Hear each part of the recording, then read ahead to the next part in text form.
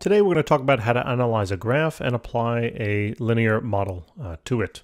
For a very uh, in-depth overview of this, I'm going to leave a link in the description below um, to a video that I've done a um, basically analyze an almost identical problem.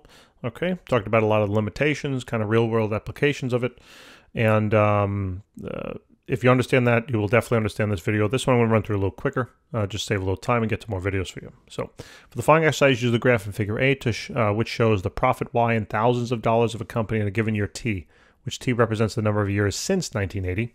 So to the problem in the description below, this is now a positive function. Uh, in other words, it has a positive slope, and the other one had a negative slope.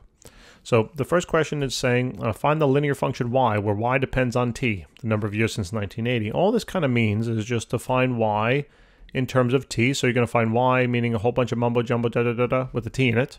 Okay, and uh, it might have been in the last problem that I've I used x the whole time. Eh, oops. Um, just you know x and t it doesn't really make a difference. It doesn't you know they're just letters. So uh, what the, the meaning behind them is what's important. Uh, so what i need to do is i need to now find the linear function. What defines a linear function is going to be two things. Let me just plug in the t right now so i don't forget. Uh, two things okay? Two things define it. The slope and the y-intercept I'm going to find them both quickly. Full detailed analysis in the problem in the link in the description below. So slope here is always known as change in y over change in x.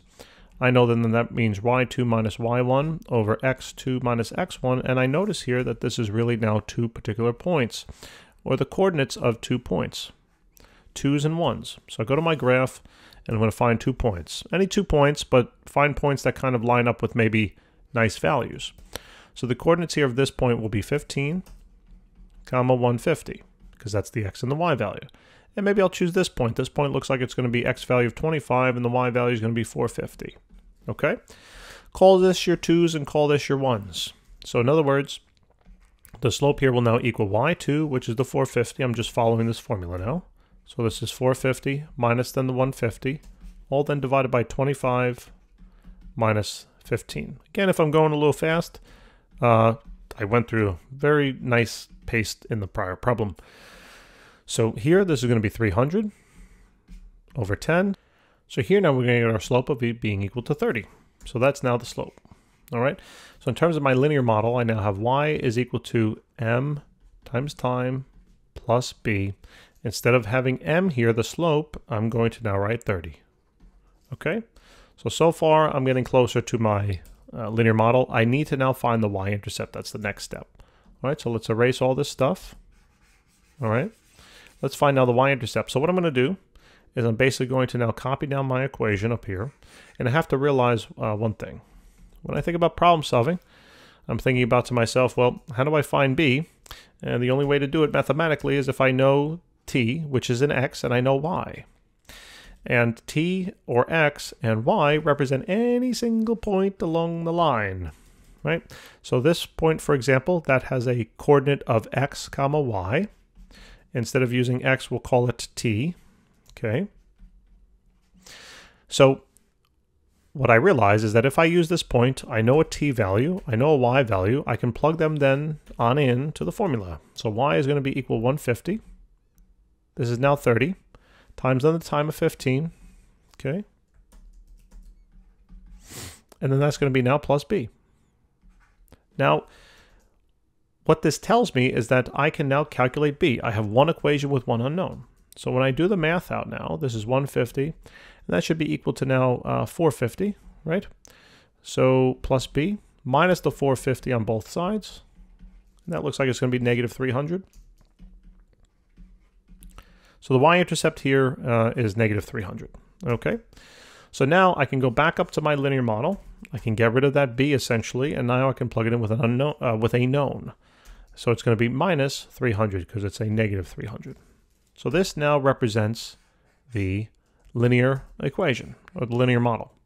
And hopefully that makes sense if you were to take this line and extend it all the way on down. I don't know if it's to scale or not, but you know, uh, I don't think it is to scale. But this would be roughly about negative uh, 300. Okay, so let me just make sure I did the math there correctly. Yep, should be. Yep, yep, that's what it looks like it's working out to be. Okay, so um, yeah, so that takes care of that. Okay, so now why don't we take a look at uh, yeah, okay. So let's now do this. Let's take a look at the next question. Let's erase some of this work. Okay. Find and interpret the y-intercept. So the y-intercept, we basically, we know that the y-intercept is always the b value, right? We've seen that many, many, many, many, many times now. So the y-intercept is equal to negative 300, okay? So the y-intercept being negative 300, um, we, you know, we can interpret that now. So uh, the y-intercept is when x is equal to zero, or in this case, time is equal to zero. So t is equal to zero. So I guess how we are to interpret this is to say at the start, you know, um, at 1980, at the year 1980, I guess the profit of this company, if the trend continued all the way backwards, and if we can apply the current trend to some time, some time period in the past, which we might or might not actually be able to do in reality, um, we can say that the profit of the firm here was negative 300. But remember, it's um, yeah, so negative 300. Remember though, this is in thousands of dollars, so it's really negative 300,000. Uh, but uh, yeah, that's what that means. Find and interpret the x-intercept. Uh, so the x-intercept now is where y is equal to zero, right? So the x-intercept will be somewhere in this particular location, something like this. So remember that the y value there is equal to zero. So I can use my linear model again. So it's 30, 30 times time minus the 300 and uh, what I want to do then is, let me just check this. For some reason, this is just looking strange, but I'm going to plug in, I'm just going to plug in the 450 and the 25. I want to see how this works out, okay? Just give me two seconds. So this should be then 30 uh, times 25 minus then 300. Yeah, no, it's working out. Okay.